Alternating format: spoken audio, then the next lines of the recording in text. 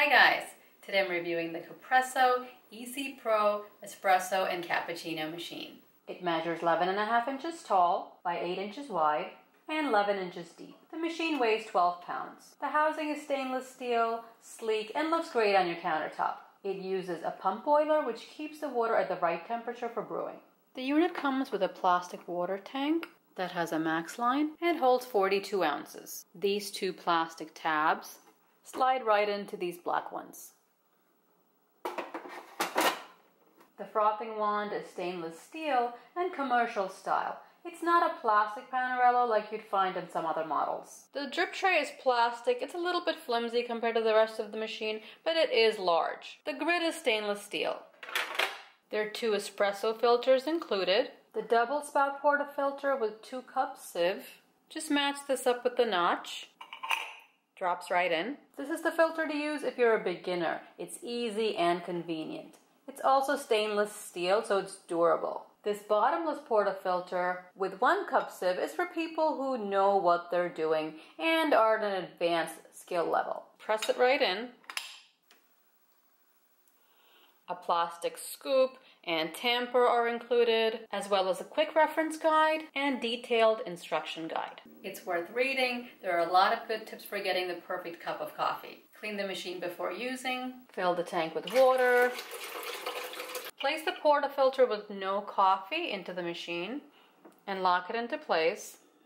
The lock is right in the middle. Turn the machine to on, and make sure the button is on the coffee symbol we're going to wait for the green light to come on. Turn the dial to coffee.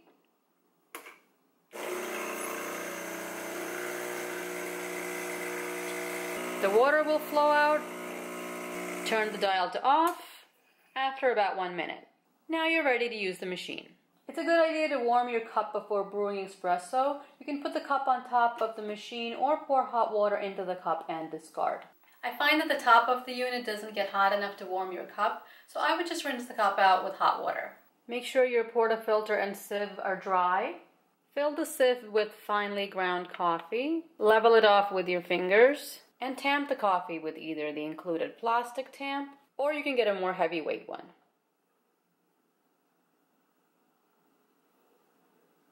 Remove any excess from the rim. Insert the portafilter and pull gently to the lock position. Put a cup on the drip tray, make sure the green light is on, turn the dial to the coffee symbol,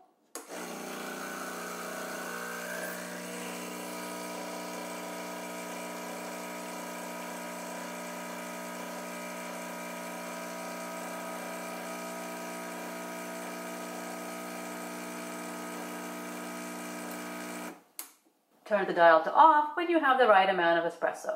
And there's our beautiful cup of espresso. I've had many cups of these and they're delicious. To froth milk, the sieve and the portafilter should be in the lock position. Press the switch to the right for steam and wait for the green light. Use the frothing grip to move the wand down towards the holes and turn the dial to steam for about 10 seconds.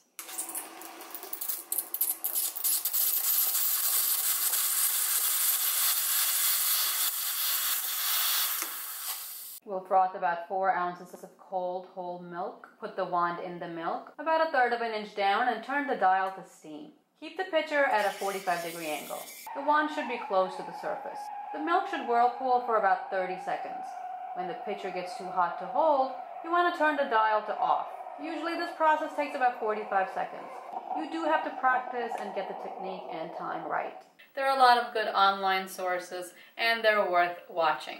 Clean the wand with a wet cloth immediately after use. Push the wand down back to the drip tray. Turn the dial to steam for a few seconds to purge. Tap the pitcher to settle the milk. Roll it around lightly to incorporate the foam and milk. Now make your best attempt at latte art. Can we call this a stingray? Maybe. I'm definitely not a barista. With lots of practice, you can make beautiful latte art. And again, there are a lot of good videos on how to make latte art, so I would suggest watching them. To clean, unlock the portafilter to the left. Empty out the coffee and wash the portafilter and sieve with warm water. Both sieves can be cleaned with a stiff brush. And if there's any coffee stuck in the holes, use a pin to remove them. Put a cup on the drip tray and turn the dial to coffee.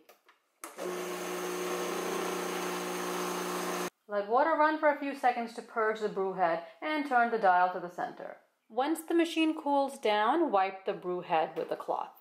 The water tank, grid, and drip tray can be cleaned with warm soapy water. The tip of the frothing wand can be removed and soaked in hot water for cleaning. The Capresso is a good espresso machine at this price point. You get a great looking unit. It makes a delicious espresso with nice crema, froths milk really well, and is pretty easy to use. The frothing wand requires that you spend a little bit of time learning to froth milk properly. You do have to do a little bit of work to get the perfect cup of coffee. I've put the link to the Capresso in the description below. If there are any products that you'd like to see reviewed, leave me a comment. Don't forget to subscribe, and I will see you next time. Thanks for watching.